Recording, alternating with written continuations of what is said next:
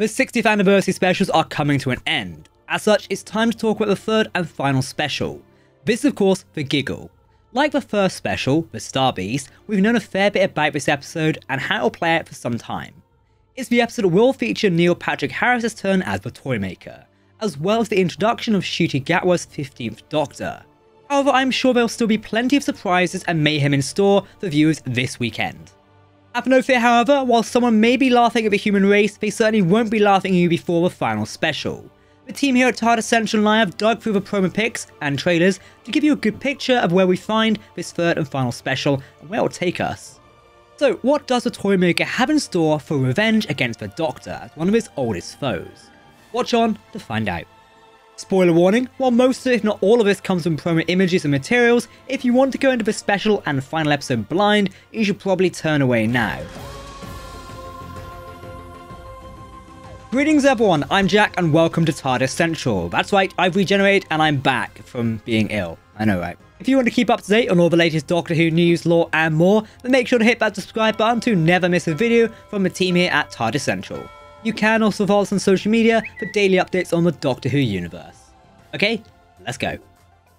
If you've been on the hype train of these special episodes, then Neil Patrick Harris will probably be pretty fresh on your mind. He was unveiled as a guest star back when the specials were filming in 2022. We all pretty much guessed it before it was confirmed, but he's playing the Toymaker, a villain the Doctor's not faced on screen since 1965.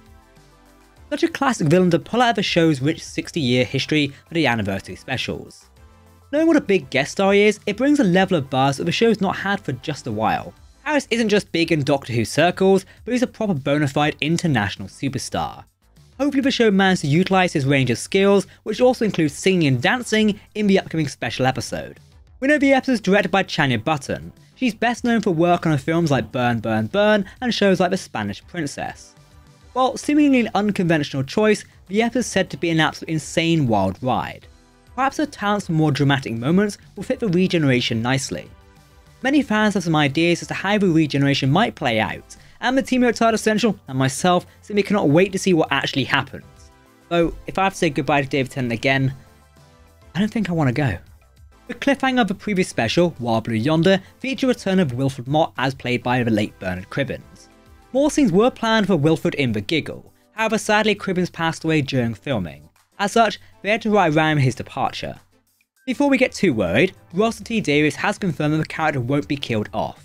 Plus, the other members of the noble family, including Shaun, Rose and Sylvia, are on the cast list, so the episode won't be short of nobles anytime soon. Anywho, we have some preview pictures from the episode to look at, so let's get cracking. But before we do, if you want to learn who the Toymaker is with no spoilers for the upcoming episode, we've actually done a full in-depth video on the Toymaker Explained here on the channel. Check out our Doctor Who Explained series, you don't want to miss this. The first of the previous pictures is of David Tennant's 14th Doctor copying in on the chaos out in the streets of Camden. He looks to be stopping a man from throwing himself in front of a car. Just what the Toymaker has planned for Earth remains to be seen, but it's definitely going to be dark. Speaking of this scene, this is actually a clip from a Doctor Unleashed episode last week, and also this filming took place here in Bristol. It was pretty cool to see this scene take place, especially if you look closely, you can actually see Neil Patrick Harris dancing around in the background. Speaking of the Toymaker, we've got a couple of pictures of him. First is him out in the street dressed in a suit and basking in the chaos he almost certainly has caused. However, it does look like we'll be facing something with an outfit change or two across the episodes. The Toymaker does have multiple looks in the giggle, which are pretty cool. He's also seen in a far more odd style suit. This costume looks to be wearing in his toy shop and is also on stage. He looks far more menacing across all of these, mining a kind of terror that we've just not seen and probably viewers aren't ready for. In his toy shop, he's creating a puppet who looks a bit like a copy of Stooky Bill. More on that later. Perhaps a creation he's exploiting. He's also seen with Charles de Melo, who's playing a character called Charles Banerjee. This looks like a man who was walking into a toy shop in the original 60th trailer. This exchange could very well set the scene for the chaos to come. Also seen with the puppet is John McKay as John Logie Baird, one of the real-life creators of the television. McKay previously played Baird in a series called Nolly, which was also written and created by Russell T Davies. The puppet Stooky Bill marked one of the first tests of the then new television technology. Just how this ties into the Toymaker's plans do remain to be seen, but it does look great. He's also seen subjecting the Doctor and Donna to a puppet show of some description, as well as sitting across from the Doctor at a table playing a game of some sort. We know he likes games, that's a no-brainer. Back at Unit HQ, the Toymaker is reveling in a terror of his own design, with rose petals floating around, potentially remnants of Unit soldiers, and dancing around on the top of the desk. That'd be kinda dark, wouldn't it? Ruth Madeley Shirley Anne Bingham, introduced to us in the Star Beast*, is also back, but she looks shocked and horrified as the Toymaker terrorizes her. Kate Stewart is in the same room, surrounded by petals, and looks far more fed up, understandably so. Although with all the chaos of her recent encounters with the Doctor, it really is just another day at the office. Let's hope she keeps that skyscraper intact. Thankfully the Doctor is also on the case, kneeling down in a pile of rose petals as the chaos goes on. The same puppet from earlier also looks to be infecting screens around the unit HQ. This could well be the thing laughing at the human race and potentially causing everyone to go mental. In a potentially more normal moment over at Unit HQ, we get a look at Alexander Devrient as Colonel Ibrahim. The same soldier is seen manning a helicopter as well as the computer in the base.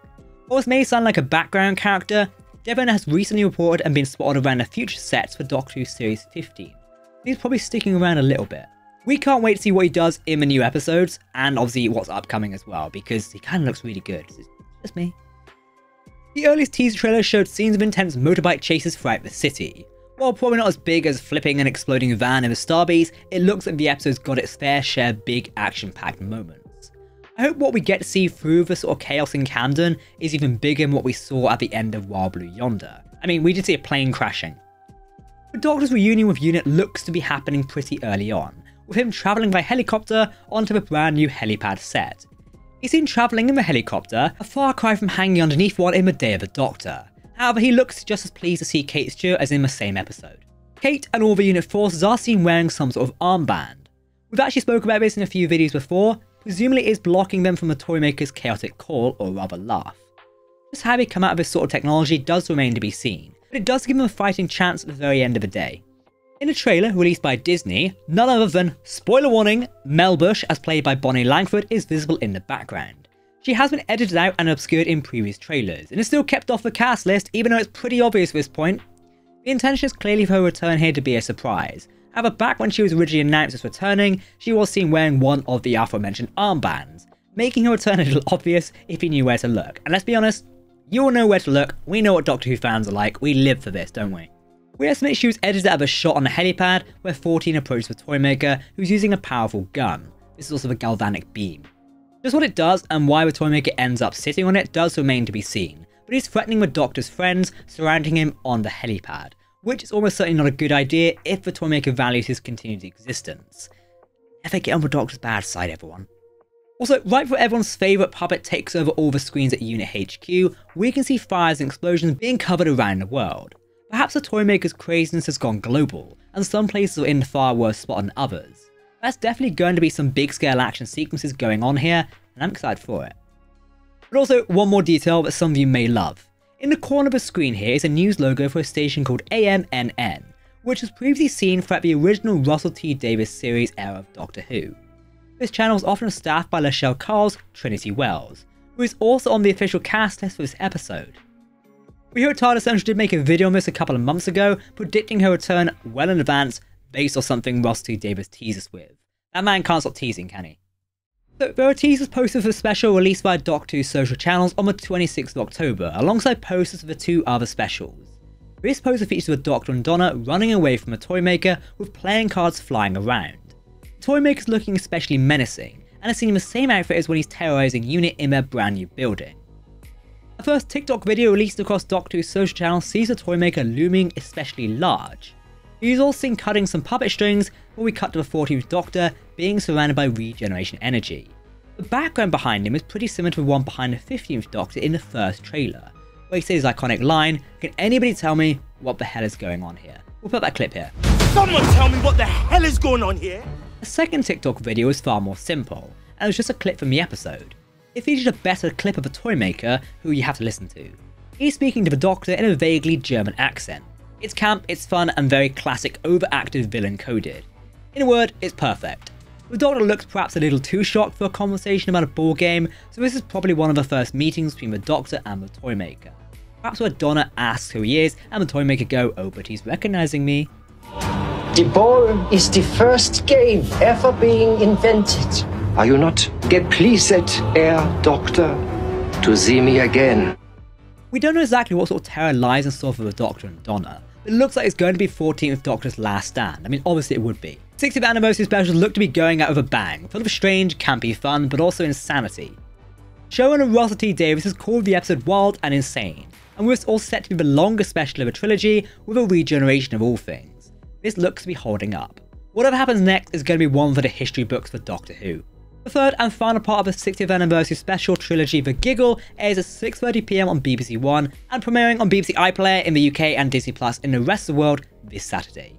It is the 14th Doctor's last stand, so be there or be square. Okay, that's our preview for The Giggle. Um, comment Tuna Madras if you got to this far in the video. No, seriously, do it. If you can spell it, good luck. Maybe I'll leave it in the description for you. And a big thank you for joining us on these preview videos for Doctor Who's 60th anniversary. Don't forget, we'll be dropping our review on Saturday night. You do not want to miss that one. If you want to keep up to date on all the latest Doctor Who news, lore, and more, then make sure to hit that subscribe button to never miss a video from the team here at TARDIS Central. You can also follow us on social media for daily updates on the Doctor Who universe.